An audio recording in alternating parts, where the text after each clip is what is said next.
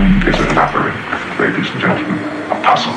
And while the paths of the brain are plainly visible, its ways deceptively apparent, its destinations are unknown.